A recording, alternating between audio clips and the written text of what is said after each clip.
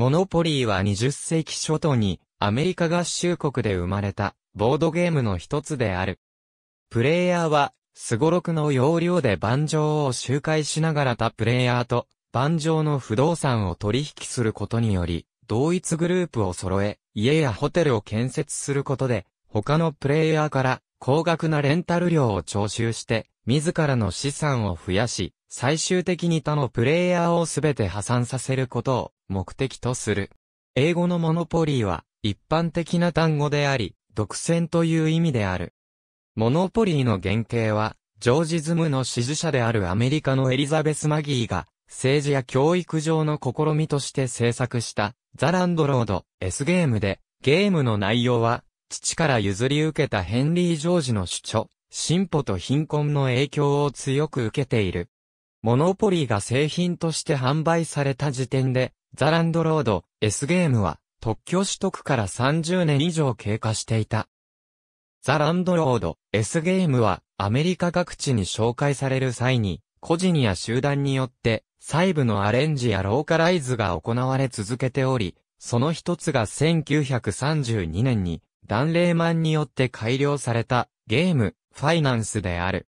チャールズ・ビーダロー1933年、1929年のウォール街大暴落により当時失業中だった暖房器具のセールスマン、チャールズ・ビーダローが知人に紹介されたアトランティックシティ版のファイナンスを遊んで惚れ込み、ボードのデザインなど独自の改良を加えて、現在のモノポリーの原型を完成させたとされる。ダローは手作りのモノポリーを独自に販売していたが大量の注文をさばききれなくなり、1934年にモノポリーを玩具メーカーの老舗であるミルトン・ブラッドリーやパーカーブラザーズに売り込んだものの、いずれも商品化を断られたため地元でモノポリーを売り続けていた。1935年の初め、昨年のクリスマスシーズンに、ニューヨークの大型玩具店 FAO シュワルツが、モノポリーを大量に仕入れたことを聞きつけた、パーカーブラザーズが権利を取得した。ダローが権利を譲渡する際、パーカーブラザーズは、ゲームのプレイ時間短縮版のルールを、ダローに提案し、相手を最後まで破産させるプレイ時間の長い方式と、併記することとした。ダローは、この契約を受け入れ、結果として、巨万の富を得た。1935年11月5日に、初めて一般発売されたモノポリーは、大不況の時世の下で、大ヒットした。1966年に、ビートルズが来日した際には、ファンが殺到し、ホテルに缶詰になっていたため、彼らはホテルで、モノポリーに熱中していたと言われる。日本での知名度が一躍高まる契機となったのは1986年8月25日に放送された森田和義アワー笑っていいとも。ないのコーナー、テレフォンショッキングに出演した伊藤重里がモノポリーを紹介したことである。勝負時が好きな騎士の間でも、1980年代末から1990年代にかけてモノポリーが流行した。地方対局にも対局用品と共に携帯し、昼の対局で火花を散らした騎士同士が、夜は騎士仲間やスタッフも加えて、仲良くモノポリーに興ずる光景が見られた。1989年の竜王戦の初日、終了後には、島明と羽生義治が対局者同士でモノポリーを楽しんだという。モノポリーのロゴ現在では、他に、地域、世界などの様々なバージョンが存在する。また、億万長者ゲームや、いただきストリートなど、モノポリーのルールをアレンジしたボードゲームも存在する。40箇所のマス目は28種類の辞書、鉄道、公共会社、カードを引くマスが6箇所、所得税、物品税、刑務所及び刑務所見学、GoTo ジェイル、フリーパーキング、Go のマスからなる。スタンダード版以外でも、土地や鉄道、公共会社などの名前が違う他は、基本的には同じである。マスの通りや鉄道などの固有名詞は、マービンガーデンとショートライン鉄道を除いて、アメリカのニュージャージー州アトランティックシティに存在している、あるいは存在したものである。いくつかの通りにはアメリカでの監修で行き先となる地点の地名がついている。は、カードの指示での移動によって止まる可能性のある場所。チャンスカードは、駒の移動に関係するものが多く、共同基金カードは、金銭に関するものが多い。共に16枚である。河川は、チャンスと共同基金で、同じ効果のカード。2008年以降に発売されたボードで一部のカードの記載内容が変更されたため、記載内容は現行のものに準拠した。基本ルールは説明書、細部に関しては、日本モノポリー協会のルールに準拠する。ゲームにおける紙幣や、権利書、物件など、銀行から手渡されるものは、基本的にバンカーが管理する。なお、バンカーは競売人も兼ねる。モノポリーの紙幣ボードを広げて、紙幣、権利書、うち、ホテルを並べる。バンカーを一人決め、バンカーが、プレイヤーに1ドル5ドル10ドルを、各5枚、20ドルを6枚、50ドル100ドル500ドルを、各2枚の合計1500ドルずつ配る。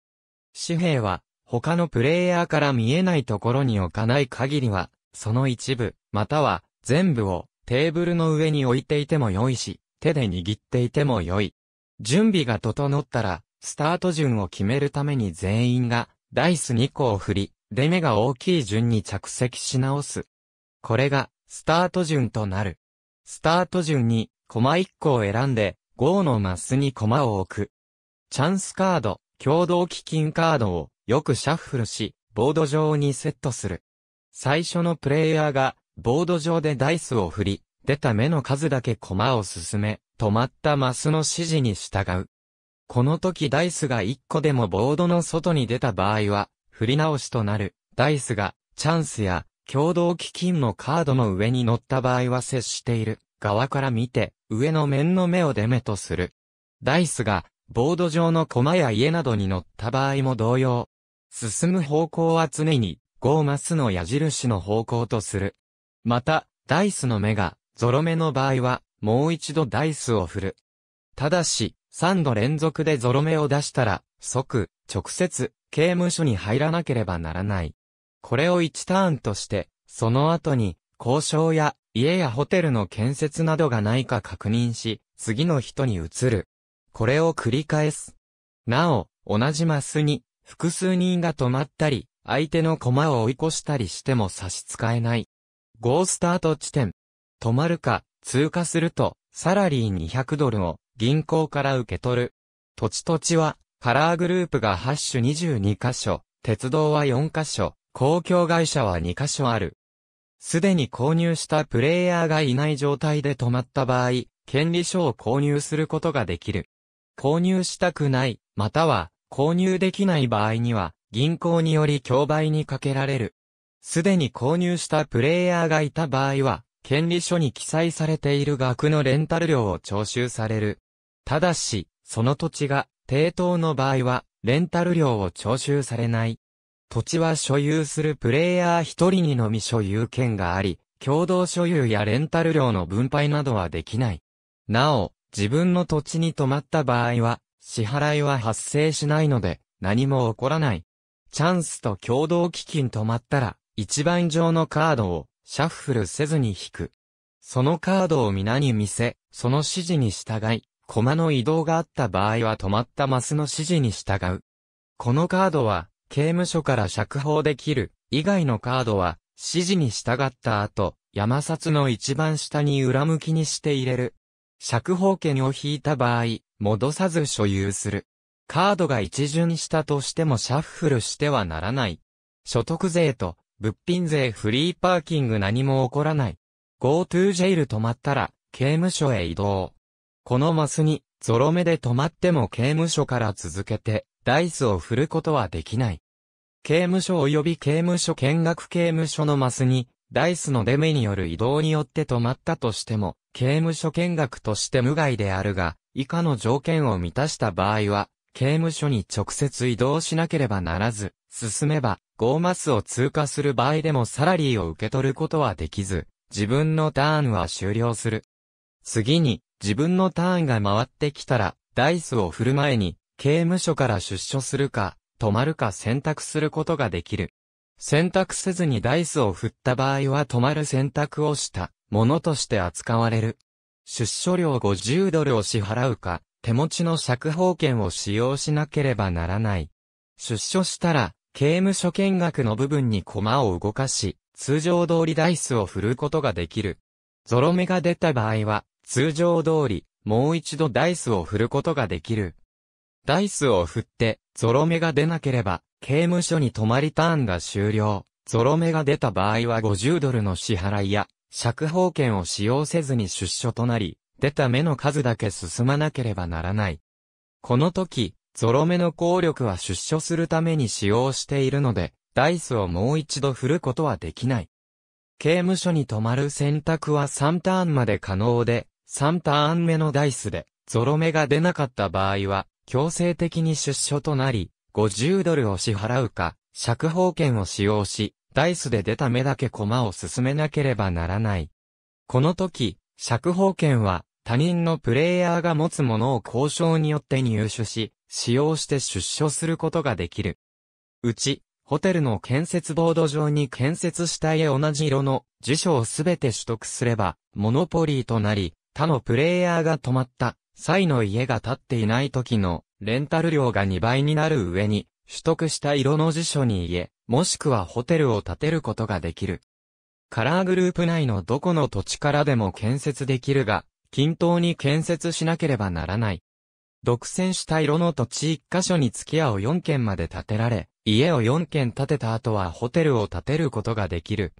なお、家などを建設する際の建設費は、その色の配置されている列により異なる。また家やホテルを建てると、その土地のレンタル料は高額となり、より多くのレンタル料を徴収することができる。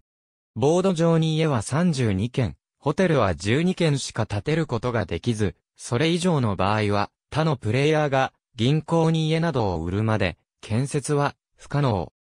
銀行が所有する以上の家などを異なるプレイヤーが同時に購入を希望した場合は、その家などは競売にかけられる。ただし、全体で譲り合う場合はこの限りではない。うち、ホテルの売却化を銀行に売却する場合には、売却する家一軒ごとに建設費用の半額が銀行からプレイヤーに戻る。この場合も均等に処分しなければならない。ホテルを含むカラーグループの物件で費用を捻出したいときは、レンタル料などの支払いが手持ちの現金では賄いきれない負債が生じたときと、単なる資金調達や家止めを行う場合とで、対応が異なる。これは容易な家止めを防止するための措置である。単なる資金調達や家止めの場合、均等に立てるという原則から、以下のようにする。ブラウン、ダークブルーのように土地が2つしかないカラーグループでは、残る家、X 圏の X をそれぞれ4減らして読めばよい。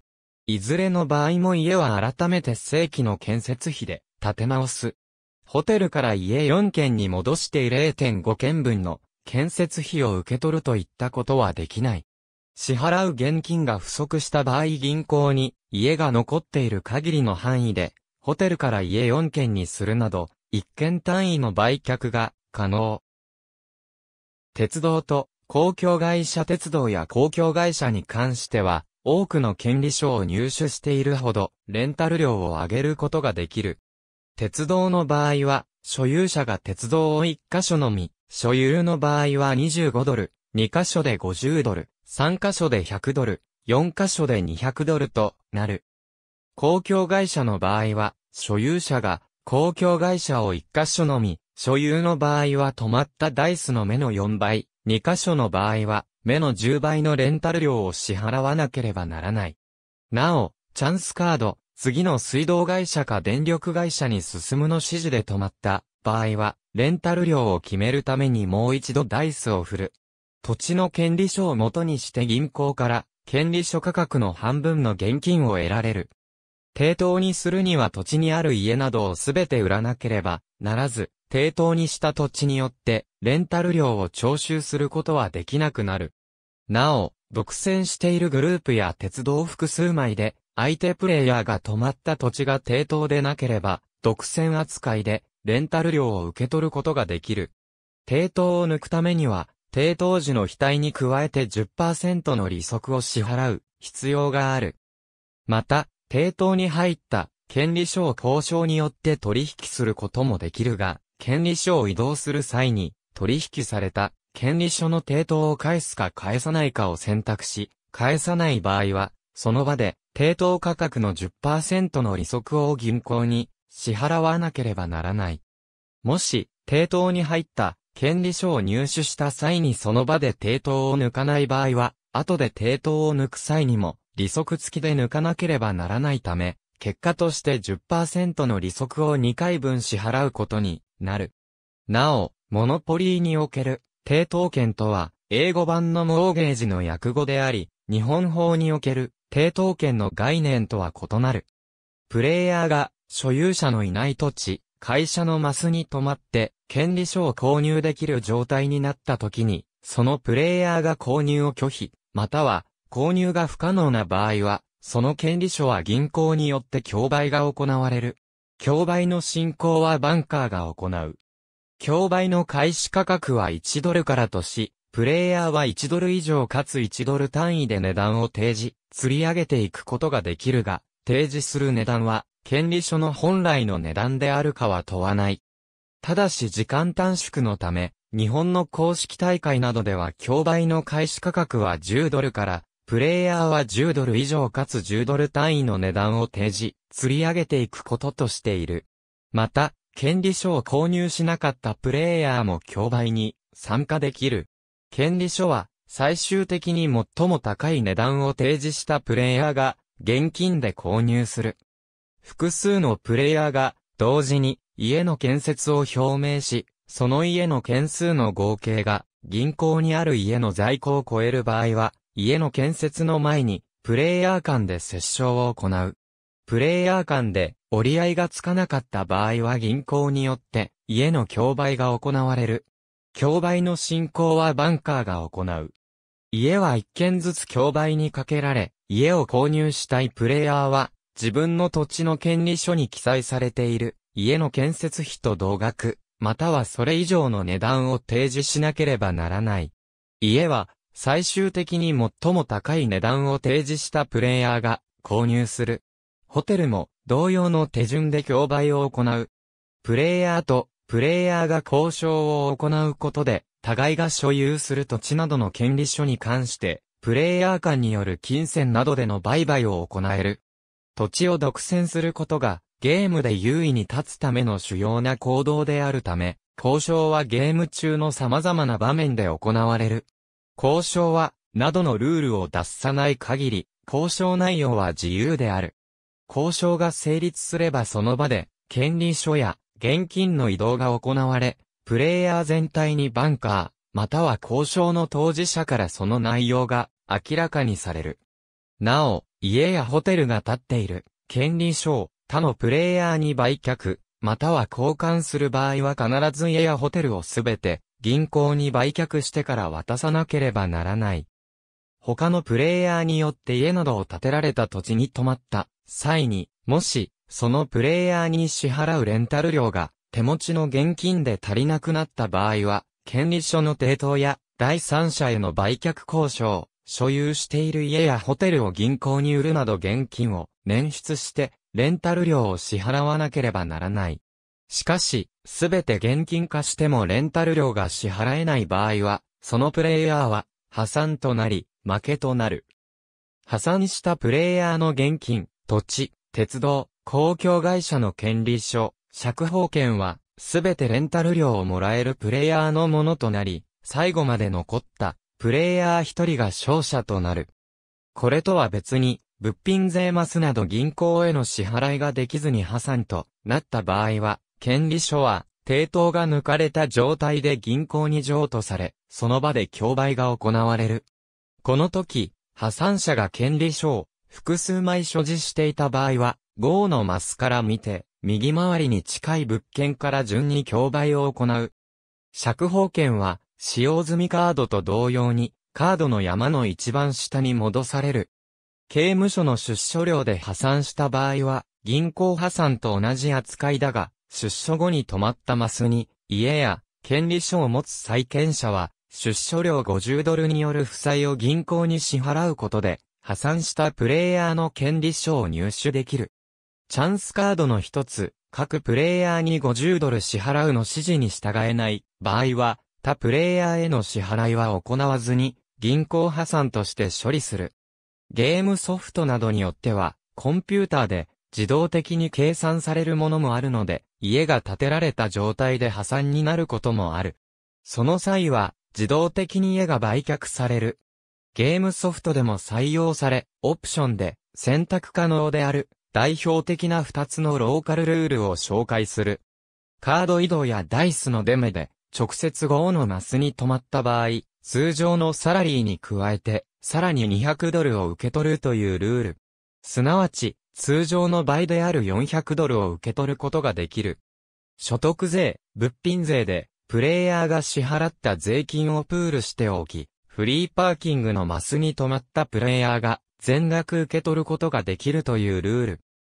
これらのルールは刺激的でゲームをさらに面白くする要素になり得るものの、プレイヤー全体の所持金が増えすぎ、よく練られてできているモノポリーのゲームバランスを崩すものだと批判する意見もある。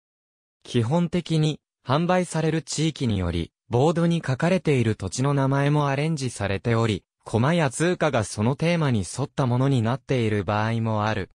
例えば、香港版には、ビクトリアピークなどがある。一部の国では、モノポリーとゲームの趣旨が違うが、カードゲームモノポリーも販売されている。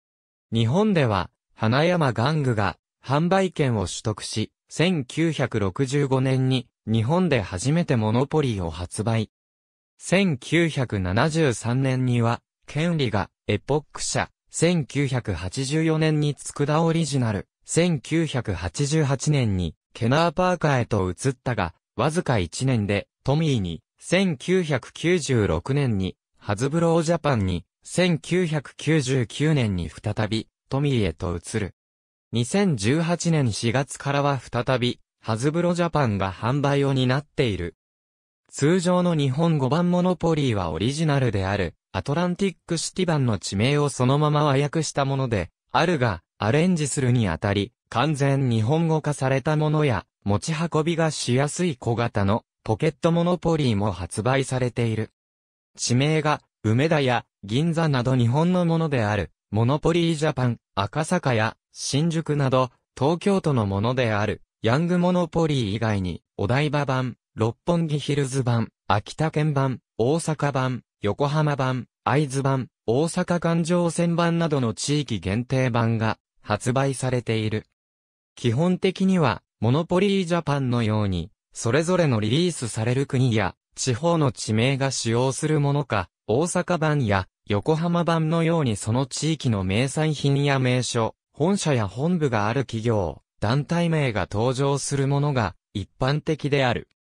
版権物のバージョンも多数リリースされており、スタンダード版をベースにしたものでは、ピクサー版、ディズニー版、サンデーマガジン版、ウルトラマン版、ポケットモンスター版、ワンピース版、モノポリージュニアをベースにしたものでは、スーパーマリオ版、集まれ動物の森版がある。スターウォーズ版は、英語版に日本語訳の説明書が付属している。この他にも日本マクドナルドとコラボレーションして、同社が販売している、ハッピーセットのおまけとして、モノポリーを簡易ルールにしたものや、モノポリージュニアをマクドナルドのオリジナルバージョンにカスタマイズしたものを配布したこともある。レジャーをテーマにしたモノポリー目指せレジャーを日本の工芸をテーマにした日本工芸版がモノポリーがある。1935年12月にイギリスリーズのジョン・ワディントン社がパーカーブラザース社より提案を受け、ヨーロッパ及びカナダを除くイギリス連邦での販売権を獲得。イギリス版はアメリカ版で使用されている地名をイギリスの地名に変更したことで、その後カナダを除くイギリス連邦では、このイギリス版が普及することになった。通貨は UK ポンド、最高額の地名はメイフェアである。ハズブロが販売するスタンダード版以外では、別バージョンや取引するものが土地に限らないものもあり、投票で選ばれた世界各国の都市が登場するワールドエディションやディズニー作品をテーマとしたもの、低年齢でも遊べるようにルールが簡略化されたモノポリージュニア、紙幣を使用しないキャッシュカードエディションなどが登場している。特にアメリカにおいては、ハズブロからライセンスを受けた USA オポリー社が国内外のアニメゲームやドラマ、映画、アメリカのプロスポーツや企業などをテーマとしたモノポリーを多数発売している。これらのバージョンでは、前述の通り、テーマに沿ったコマや通貨などが用いられている。これまで、日本国内では、タカラトミー、ハズブロジャパン、エレクトロニックアーツ、UBI ソフトの4社が、モノポリーのコンピュータゲームを制作、販売している。